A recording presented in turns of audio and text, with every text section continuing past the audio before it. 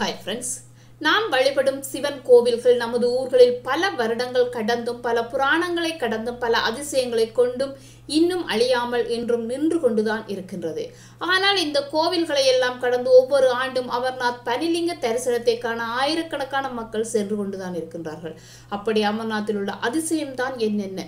என்ன ரகசியம்தான் அங்கு மறைந்திருக்கிறது என்பதை பற்றி இந்த வீடியோவில் பார்ப்போம். அமர்நாத் குகை கோவிலானது கடல் மட்டத்திலிருந்து மூவாயிரத்தி எண்ணூற்றி எண்பத்தி எட்டு மீட்டர் உயரத்திலும் ஸ்ரீநகரில் இருந்து கிட்டத்தட்ட நூற்றி நாற்பத்தொரு கிலோமீட்டர் தூரத்திலும் அமைந்துள்ளது. அமர்நாத் குகை கோவில் சுமார் ஐயாயிரம் ஆண்டுகள் பழமையானது என்று புராணத்தில் கூறப்படுகின்றது.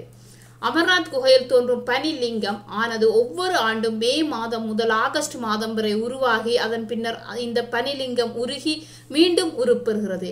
பார்வதி தேவிக்கு வாழ்வின் ரகசியத்தை சிவபெருமான் கூறியது இந்த குகையில்தான் என்று புராணங்கள் கூறுகின்றன. இந்த இடம் ஐம்பத்தி ஒரு சக்தி பீடங்களை கொண்டுள்ளது. சக்தி பீடங்கள் உருவான கதை சிவபெருமானை மருமகனாக கொண்ட காரணத்தினால் தச்சன் சிவனை மதிக்காமல் தன் மருமகனை அழைக்காமல் ஒரு ஜாகத்தை நடத்தினார். இதற்கு நியாயம் கேட்டு நின்ற தாட்சாயணியையும் மதிக்கவில்லை. இதனால் கோபம் கொண்ட தாட்சாயணி யாகம் அழியுமாறு சாபம் கொடுத்துவிட்டு தச்சன் தந்த உடல் தனக்கு வேண்டாம் என்று தன் தந்தை நடத்திய யாகத்தில் விழுந்து எரிந்து போகின்றாள்.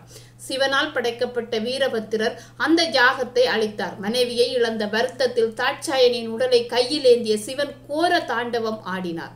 சிவனின் ருத்ர தாண்டவத்தை நிறுத்த விஷ்ணு தன் சக்ராயத்தில் தாட்சாயனின் உடலை ஐம்பத்தி ஒரு துண்டுகளாக வெட்டிவிட்டார். சிதறிய தாட்சாயனின் உடல் பகுதிகள் ஐம்பத்தொரு சக்தி பீடங்கள் ஆனது. அதில் தாட்சாயனின் தொண்டை பகுதி விழுந்த இடம்தான் அமர்நாத் குகை கோயில். அமர்நாத் கோவை குகை நிறுத்தங்கள் சிவனுக்கு இருக்கும் பல கோவில்களில் அமர்நாத் கோவில் உலக புகழ் பெற்றது. இந்த பயணம் ஆரம்பமாகும் இடத்தில் இருந்து குகைக்கு செல்லும் வரை வழியில் நிறைய நிறுத்தங்கள் உள்ளன. அழிவே இல்லாத சிவபெருமானின் ரகசியங்களை பார்வதி தன்னிடம் கூற வேண்டி வலியுறுத்திய போது இந்த குகையை நோக்கி பயணிக்க சிவபெருமான் முடிவெடுத்தார். குகைக்கு செல்லும் வழியில் அவர் செய்த சில விஷயங்கள் பக்தர்களுக்கு மிக விசேஷமாக இன்றும் இருக்கின்றது. இதனால் குகைக்கு செல்லும் பாதையில் உள்ள ஒவ்வொரு இடத்திற்கும் ஒவ்வொரு புராணக்கதை உள்ளது. புராணப்படி இந்த குகையை அடைய சிவபெருமான் பகல்காம் பாதையில் பயணித்தார். பகல்காம் வாழ்வின் ரகசியத்தை பற்றி கூற பார்வதியை குகை கடத்தி செல்லும் போது தன் வாகனமான நந்தியை புறப்பட்ட இடத்திலேயே சிவபெருமான் விட்டுவிட்டார். இந்த இடம்தான் பகல்காம் என அழைக்கப்படுகிறது. இந்த இடம் மலைகளால் சூழப்பட்டுள்ளது. சந்தன்பாடி பகல்காமுக்கு அடுத்த வர் அடுத்து வரும் இடம்தான் இந்த சந்தன்பாடி. சந்திரமௌலி என கூறப்படும் சிவபெருமான் தலையில் இருக்கும் நிலவை இங்குதான் அவர் விட்டு விட்டு சென்றார். சிவன் திரும்பும் வரை அந்த நிலவு அங்கேயே தான் காத்திருக்கின்றது. அதனால் தான் இந்த இடம் சந்தன்பாடி என்று அழைக்கப்படுகிறது.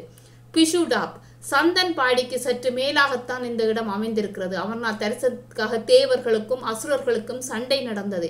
அந்த நேரம் சிவபெருமானின் உதவியோடு அசுரர்களை அழித்தார்கள் தேவர்கள். அவர்களின் சடலங்களை கொண்டு உருவாக்கிய இடம்தான் பிஷுடா ஷேக்நாத் புஷிடாப்புக்கு அடுத்து வரும் இடம்தான் ஷேக்நாத் சிவபெருமானின் கழுத்தில் உள்ள பாம்பை இங்குதான் விட்டு சென்றார் என்று கூறப்படுகிறது. இங்கு நீல நிறமாக காட்சி தரும் ஏரியே இதற்கு சாட்சி.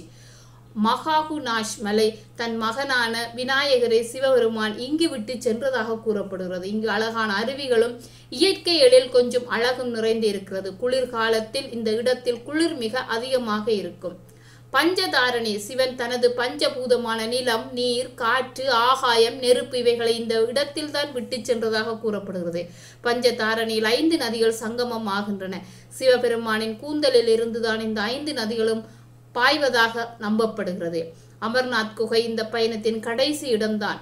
இது பதிமூவாயிரத்தி ஐநூறு அடி உயரத்தில் அமைந்துள்ளது. இந்த குகை இந்த பாதையானது மூன்று கிலோமீட்டர் வரை பனியால் சூடப்பட்டிருக்கும். பனியாக உறையப்பட்ட ஆற்றை கடந்தவுடன் அமர்நாத் குகையை அடைந்து விடலாம். நூறு அடி நீளமும் நூற்றி எண்பது அடி அகலமும் கொண்டதுதான் இந்த குகை. இந்த குகையினுள் தான் பனியால் உருவான சிவனை காண முடியும். இந்த குகையில்தான் அமர தத்துவத்தை சிவபெருமான் பார்வதி தேவிக்கு கூறியுள்ளார். இவ்வளவு சிறப்புகள் வாய்ந்த இந்த சிவபெருமானை நம் அனைவராலும் தரிசிப்பது என்பது இயலாத ஒன்றாக இருந்தாலும் அந்த கோவிலை பற்றிய பெருமைகளை நம்மால் அறிந்து கொள்ள முடிந்ததே பெரிய பாக்கியம். மீண்டும் ஒரு புதிய தகவலுடன் உங்களை சந்திக்கிறேன்.